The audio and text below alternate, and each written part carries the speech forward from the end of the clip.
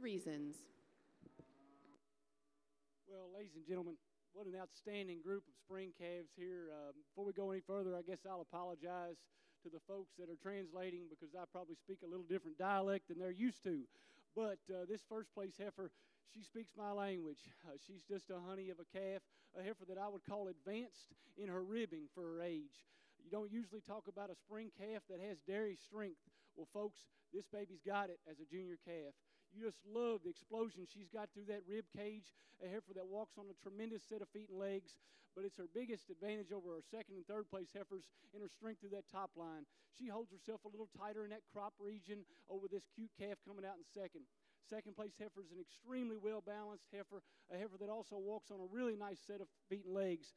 She's sharp, she's angular, uh, but just a heifer that I'd like to give a little bit more oomph through that front end to get her up in that top spot today. But she does use her advantage in mobility and feet and legs to go over another really nice dairy calf coming out in third place. In addition, I prefer her rump structure. This third place heifer, when she gets out on the move, wants to push those thurls back a touch, not quite flow as nicely on those hind wheels as the two above her, but just a silky, clean calf.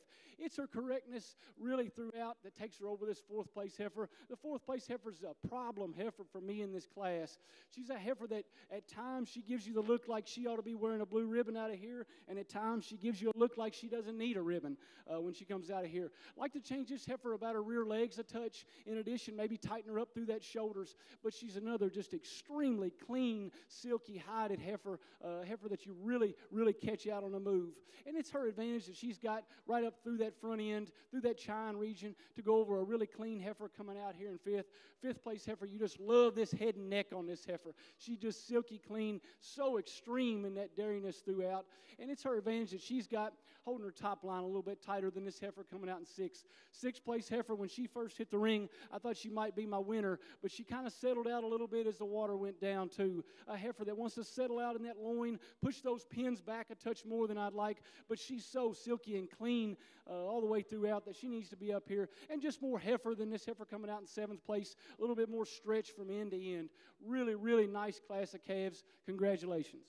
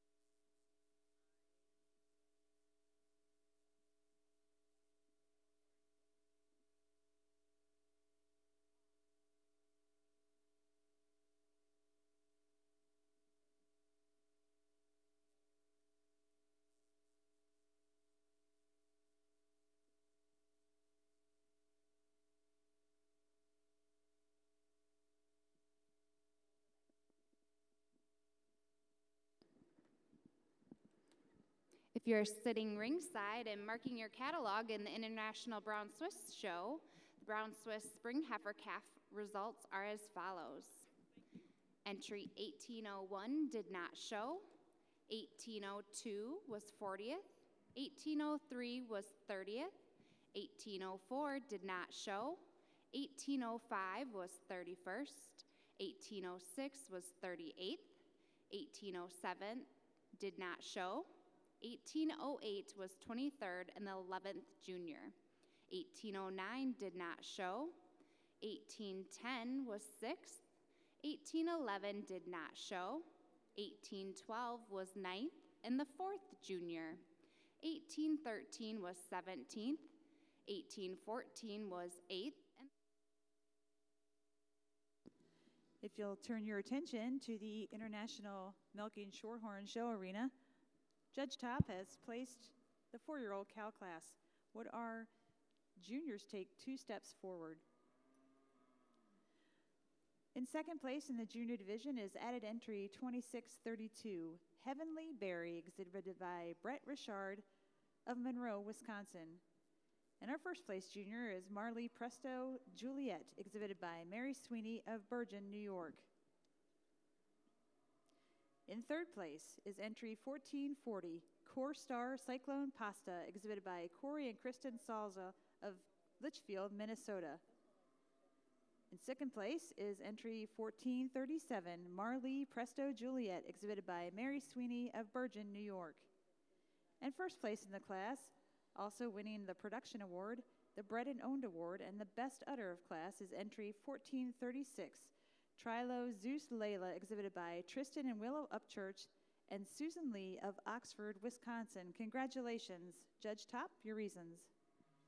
Well, just a beautiful class of cows from top to bottom here. But this cow coming out in first, she just puts it all together for us today. You love the style, the balance, and beautiful mammary system. Tracks out on a great set of feet and legs, taking nothing away from the cow in second. Just not quite enough midsection today to get around this big red cow. The beautiful mammary system on our second cow. You love the veins all over it. Just need a little more drop to that rear rib today to get her to the top of the class. It's that venation and that rear udder that takes her over. Our fourth calf cow coming out here in third, a lovely cow. You appreciate her having four calves, just not quite as clean all the way through as our cow coming out here in second. Second over third, just a more midsection today. The fourth cow, a really pretty